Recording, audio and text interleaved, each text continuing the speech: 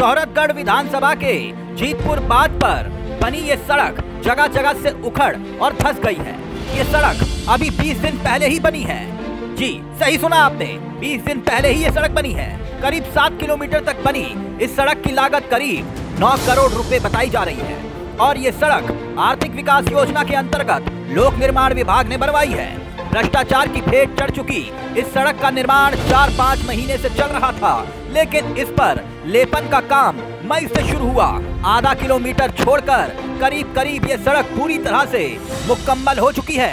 लेकिन सड़क बनाते वक्त मानकों की खजिया किस तरह से उड़ाई जा रही है, ये आपके सामने है। एक तरफ़ सड़क बनती जा रही है और दूसरी तरफ़ धसती और टूटकर उखड़ती जा रही है। इस सड़क से गुजरने वाले स्थानीय लोग सड़क में हुए इस भ्रष्टाचार की दास्तान खुद ही सुनाते हैं।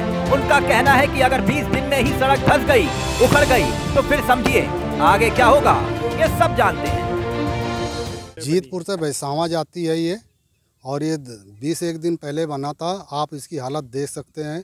अगर इसकी अरे वो आप कहते हो तो मैं अंगुल से ना अरे नाप के आपको दिखा सकता हूँ कि कितना मटेरियल अरे डला हुआ। अगर आज ये इसकी हालात है तो बारिश के आने वाले समय में मेरे को ये नहीं लगता कि बारिश तक ये टिक पाएगा। इसी महीने में भी बना हुआ अब तारीख नहीं याद है लेकिन इसी महीने में हुआ है।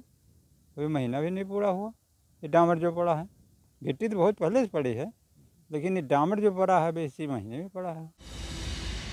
वहीं सड़क को लेकर भ्रष्टाचार का ये मामला सवाल खड़े कर रहा है। विधानसभा की कार्रवाई में हिस्सा ले रहे विधायक विनय वर्मा भी इसको लेकर सवाल उठा रहे हैं। तो वहीं जिला अधिकारी सिद्धार्थ नगर इस पर कठोर कार्रवाई करने का आश्वासन दे रहे हैं। लेकिन मामले में लिपापोती को देख इस मामले की लिखित शिकायत मुख्यमंत्री योगी आदित्यनाथ तक कर दी गई है।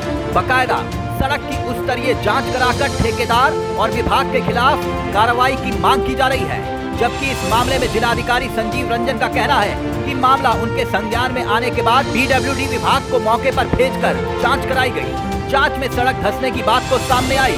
बकायदा पेमेंट रोकने तक का ज़िक्र किया गया। सुनिए क्या कुछ कहना है। डीएम साहब का। हाँ ये प्रकरण मेरे संज्ञान में आया है और इसके संबंध में हमने कल ही उनको कहा था एक्सीएन पी निर्माण खंड जो है, कि जाकर मौके पर इसकी जाँच कर लें। जाँच करने के दौरान उन्होंने कहा कि ये टोटल सात किलोमीटर की सड़क है, जिसमें साढ़े छः सौ साढ़े छः किलोमीटर जो है प्रॉपरली उसमें कोई इशू नहीं है, जैसा उनके द्वारा बताया गया है। जो 500-600 मीटर का है, जिसमें ये हुआ है कि वो अत्यधिक दबाव के कारण वो खराब हो गई है। तो सवाल ये कि दाल में कुछ काला है या फिर पूरी की पूरी दाल काली है? ये सड़क धस रही है या फिर लोगों का ईमान? Deep Kumar Yadav. News World India Siddharthnagar